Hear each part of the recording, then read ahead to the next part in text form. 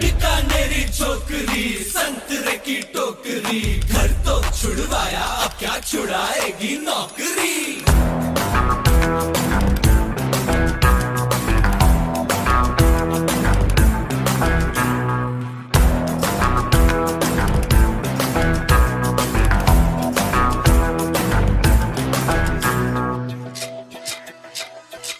Romeo Romeo.